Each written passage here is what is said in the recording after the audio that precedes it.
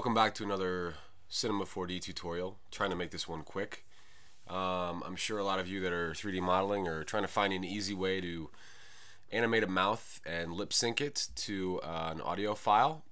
Um, this will kind of show you just a quick and dirty way of doing that. This isn't going to be perfect, but maybe like season one South Park perfect, um, where we just basically have a mouth moving um, to audio. So I'm going to show you kind of the basics to this. So what we're going to do is we're going to create just a disk for now. Set it to the um, on the X orientation here, and I'm going to scale it down. All right. I'm going to give it just like an all black material, and you'll notice my material doesn't have any reflectance whatsoever on it.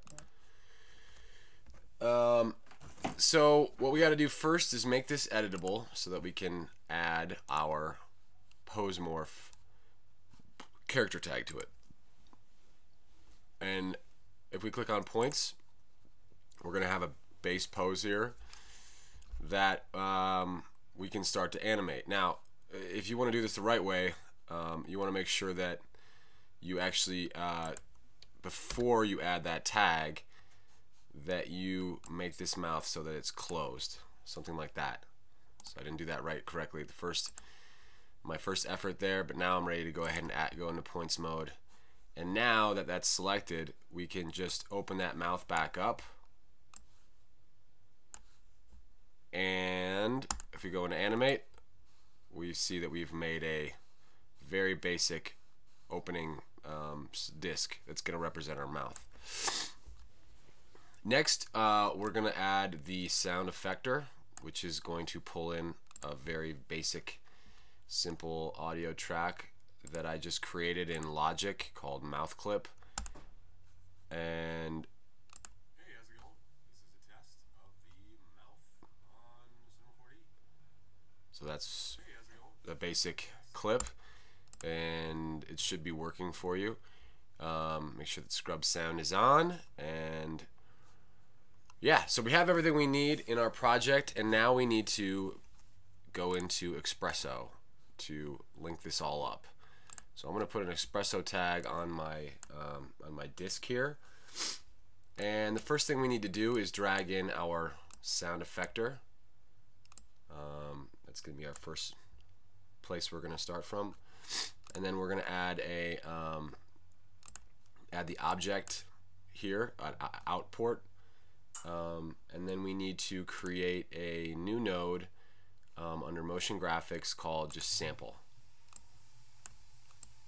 And this is going to be how we port this thing over to our um, over to our pose morph tag, which we need to then grab and drag in here.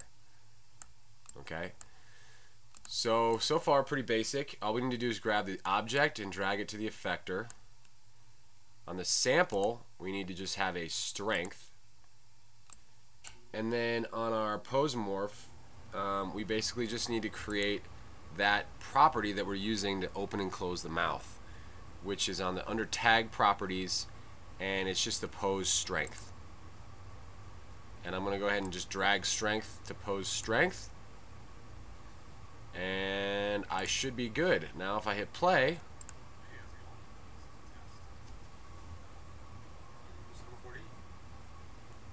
Hey, how's it going? This is a test of the mouth on Cinema 4D. Now you'll notice I don't have, I only have that one pose, so it's a little bit limited. Um, if I was to go in here and create a second pose, I'd show you. I'll show you what that looks like. Let's say I wanted to add another pose here. Um, so I'm going to add pose, and I'm going to make this be like the tightening of the mouth. Right? Now let's see what happens. Yeah, it doesn't work. So it's a little bit limited in what you can do, um, but the gist of it is, is oh, I screwed something up. I'm gonna fix this real quick. Hold on. Hey, how's it going? This is a Okay, we're back. on Cinema 4D.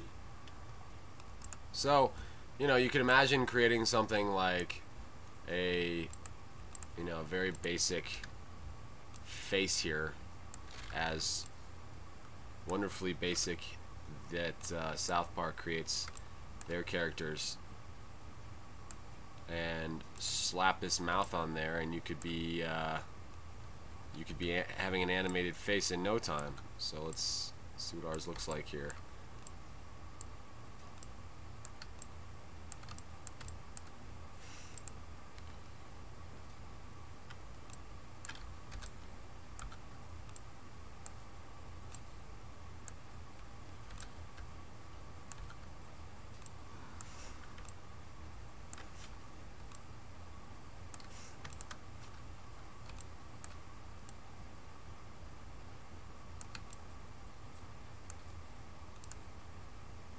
So something like that, very basic. Hey, how's it going? This is a test of the mouth on Cinema 4D. So Hey, how's it going? anyway, this just to give you an idea of how to get started with pose morphs and sound effectors, um, and to make a very basic mouth move to sound effects uh, and have them lip synced. So I hope you found this useful. I hope uh, maybe it's something you can use in some basic animations you have. But uh, stay tuned for more complex tutorials on how to use the mouth.